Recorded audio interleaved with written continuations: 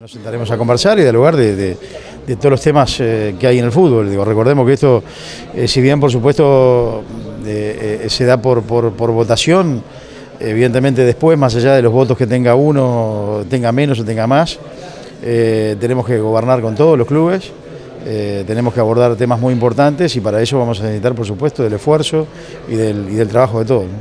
Vamos a esperar también un, un nuevo integrante en el Consejo Ejecutivo, el que está faltando y que provenga precisamente de Peñarol. Sí, seguramente que sí. Digo, yo creo que este Nacional eh, está en el Ejecutivo eh, y creo que Pañarol también va a estar.